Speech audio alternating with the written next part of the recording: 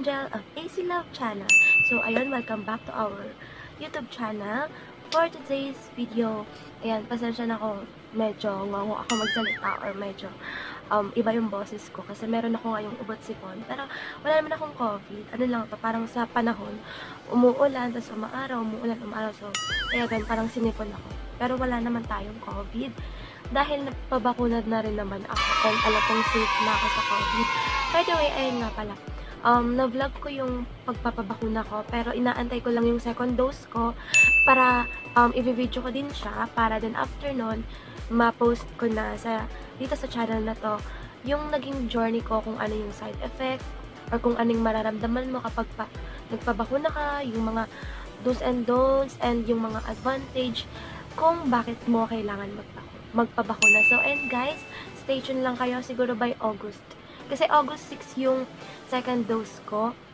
Siguro mga August 8 ko mapopost yung vlog na yon about sa COVID-19 vaccine. So, ayan guys, abangan nyo yon So, for today's video, yun, um, for girls lang muna to, wala si Kuya Claude ngayon kasi ang ating pag-uusapan ngayon ay ano, dahil kasi, pag nagtitiktok kasi ako, alam niyo yun guys, pag nagtitiktok kayo, pag nag scroll kayo sa TikTok, meron kayong mga ads na makikita. At isa to sa mga ads na naging dahilan kung bakit napabili din ako. So, hindi ko to alam, itong product na to, hindi ko to alam before, before ko makita yung ads sa TikTok. So, ayun nga, kung nagtitiktok kayo, alam niyo yun kapag nag-scroll kayo.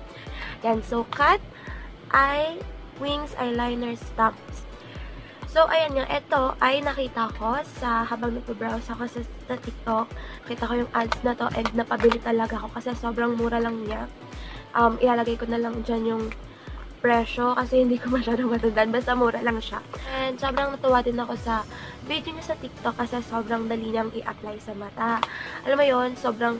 Ako kasi, before, wala pa na to sobrang nahirapan ako mag, ano, maglagay ng eyeliner kasi laging hindi pantay. Minsan dito mahaba, dito maikse.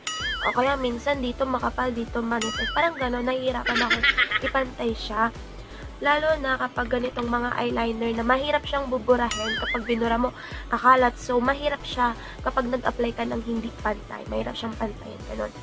So, ayan guys, bago ko ipakita sa inyo yung pag-apply nito, pakita ko muna sa inyo yung mga nakalagay dito sa box niya. Dito sa, tawag dito? Sa packaging, ganun. So, nakalagay dito is Kim Muse Cat Eye Wings Eyeliner Stamp. Vegan-friendly formula, cruelty-free, smudge-proof, and waterproof. Tapos, ayan, dito sa gilid, yung mga step niya kung paano mag-apply. Number one, stamp eyeliner to the corner of the eyes. Yan, ganyan yung drawing, yung example niya. So, una daw is yung sa dulo muna. Then, step 2, continue the line in the upper area of the eyelid. So, step 2, dito tayo magsisimula. Yan. Papunta dito sa naging step 1 kanina. Then, yung step 3, complete the missing areas easily. So, ayun. Parang finishing na lang yung number 3. Then, yung nasa likod, yung mga ingredients niya, ayan. Hindi ko na isa-isa yung ingredient. Yung Fiture, ano, nakalagay siya dyan. Ayan ang Fiture. Featuring a sexy cat eye flick and a fine tapered shape liner. The eyeliner pen creates the symmetrical eyeliner wings and glides along. Ayan. Meron din siyang nakalagay na introduction. Diba? Ang dami yung mga, mga pakemeruchi. Introduction. Sabihin ko pa ba? Tapos sige, sabihin ko na. Sexy cat eye in a snap. Show off sharp, symmetrical eyeliner wings with a simple stamp. The next long-lasting eyeliner fast drying application works it from day to night. So, let's see. Kalagay din dito, high pigmentation, easy to use stamp pens.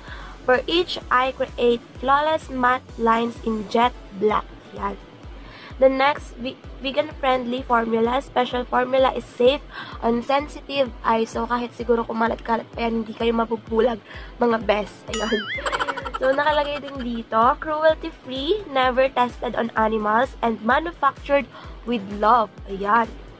Then, smudge-proof, waterproof, it's proof, smudge-proof, and doesn't dare dull. O, diba? Ang daming mga pa-fruit. So, ayun din, nakalagay din dito yung how to use, na kahit meron na dito, meron pa din dito how to use.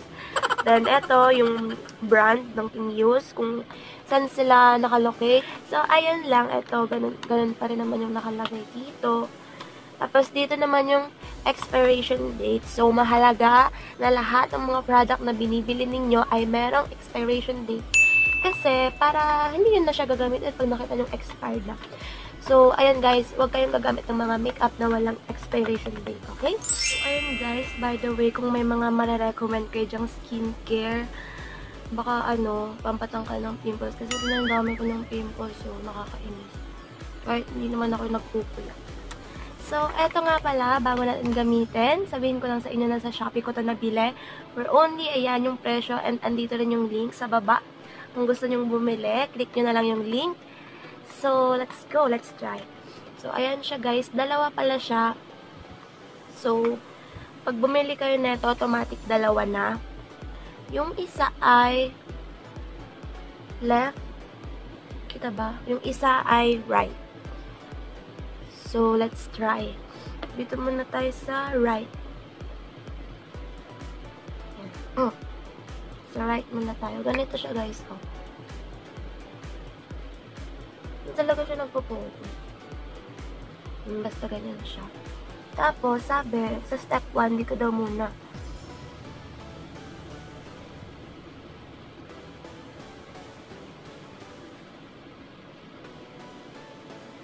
Ayan.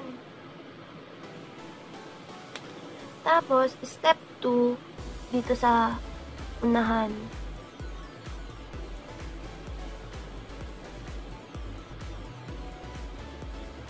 papunta dun sa dulo.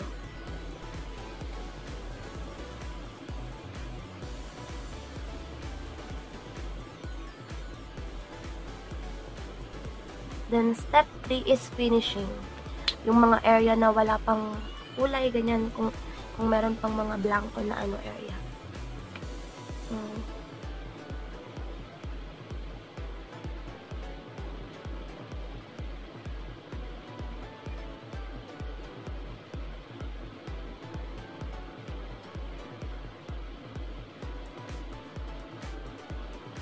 So, ayan siya guys.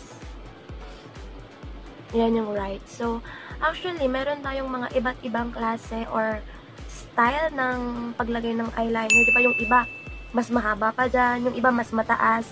So, ako, ganyan lang muna. Ganda. So, next naman is yung left. So, step 1, dito muna.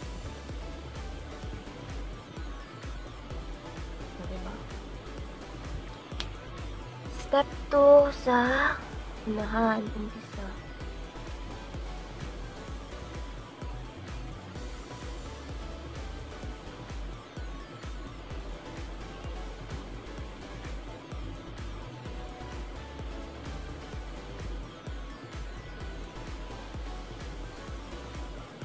Then, step 3 is finishing. Lagyan na lang natin yung mga nakikita nating areas na wala pang kulay o manipis, ganun.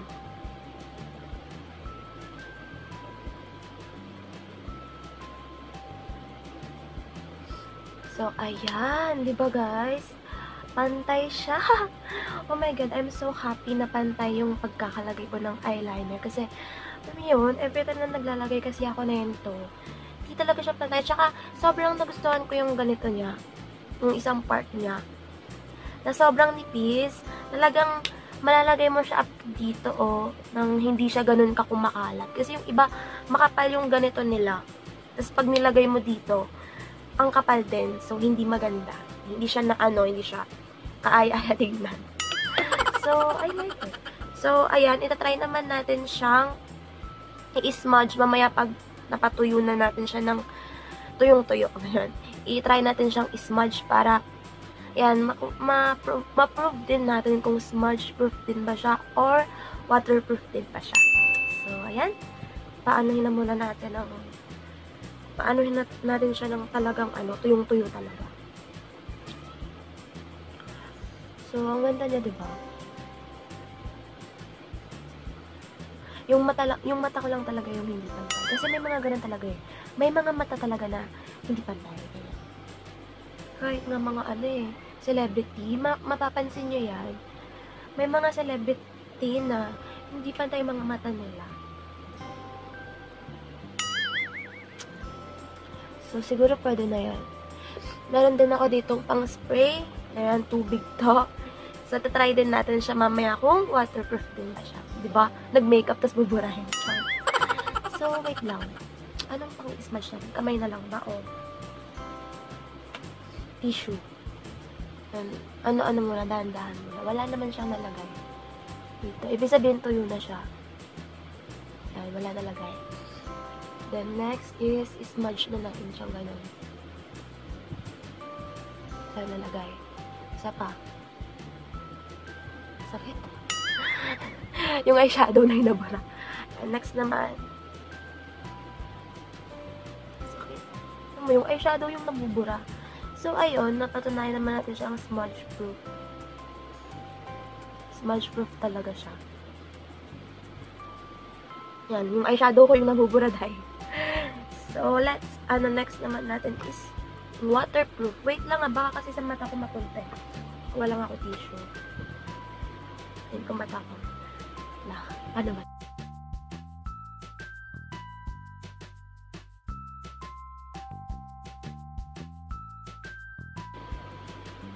Hindi naman. Kabila. Ah. Ayan, oh, may tubig yan ah. Sabihin niyo, binabola ko kayo, char. Hindi naman to ano, hindi naman to paid advertise. Kaya, bakit ko naman kayo ano Wait lang, nabura din yung ano ko, makeup ko. So, ayan, hindi naman siya, ano, waterproof talaga siya, and smudge proof talaga siya. Ayan, nakita niyo naman hindi siya kumalat. So, all in all is 10 over 10. Mga guys, bumili na kayo mga girls, bumili na kayo. Kung gusto nyo ng easy na pag-apply ng liquid eyeliner sa inyong mga mata, dye, bumili na kayo. Sobrang sulit na itong ganda. So, ayun guys, thank you for watching. Hope you like this video and don't forget to subscribe, click the notification bell, and share, share, share. Ayan na. Bye! God bless you all. Ingat. Love you. Mm.